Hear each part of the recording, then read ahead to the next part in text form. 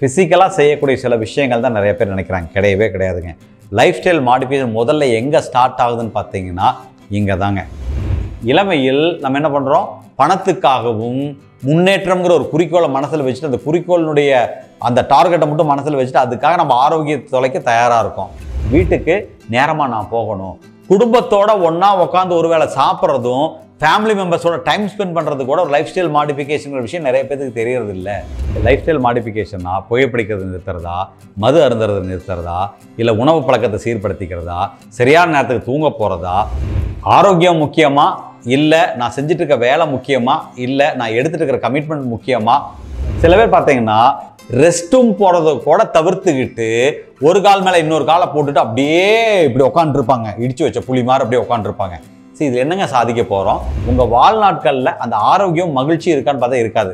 சிம்பிளாக சொல்ல போனால் உங்களுடைய லைஃபுக்கான நாட்கள் குடும்ப ஒழிய ஆனால் உங்கள் வாழ்க்கையில் லைஃப் இருக்கான்னு கேட்டால் கண்டிப்பாக இருக்காது. இதுதான் எதார்த்தம் என்கிட்ட வந்து ஏகப்பட்ட சொத்து இருக்குது காசு இருக்குது பணம் இருக்குது. நினச்சா நான் மும்பை போக முடியும்.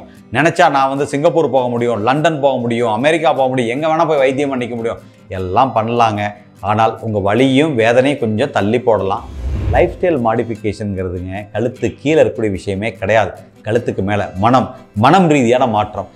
இதை ஒருத்தர் எப்போ செய்கிறாரோ அப்போ தான் உண்மையான லைஃப் ஸ்டைல் மாடிஃபிகேஷன் ஸ்டார்ட் ஆகுது.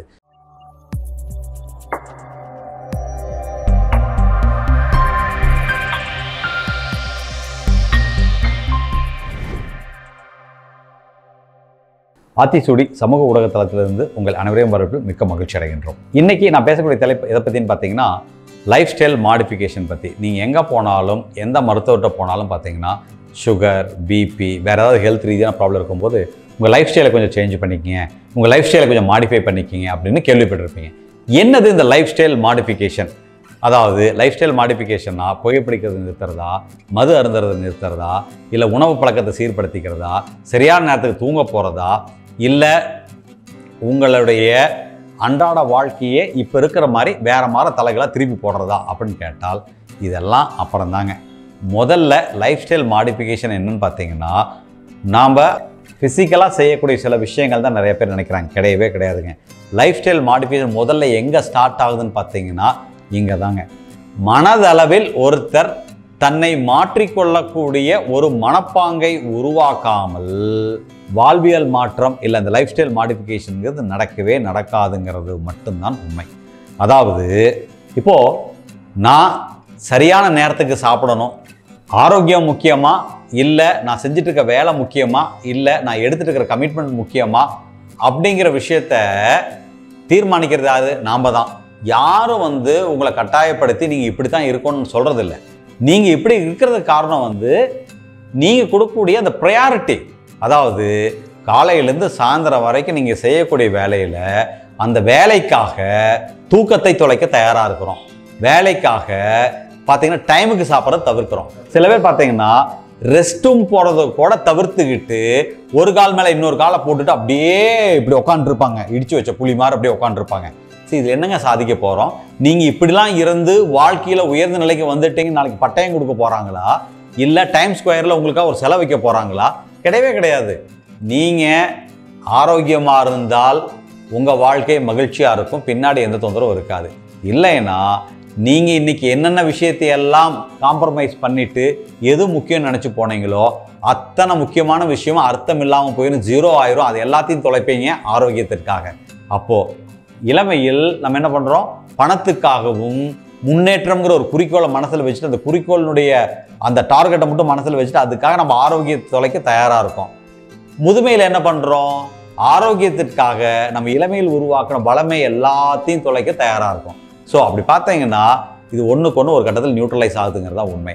அப்போது சரி ஒருவேளை முதுமையில் நீங்கள் எல்லாத்தையுமே தொலைச்சாலுமே கூட உங்கள்கிட்ட சொத்து பணம் காசு எல்லாத்தையும் திருப்பி கொடுத்தாலுமே கூட முழுமையான ஆரோக்கியம் திரும்பி வருமான்னு பார்த்தா கிடையவே கிடையாது.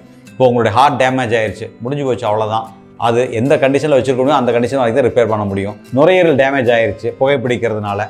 அது ஒரு கட்டத்துக்கு மேலே irreversible டேமேஜ் ஆயிடுச்சுன்னா முடிஞ்சு போச்சு.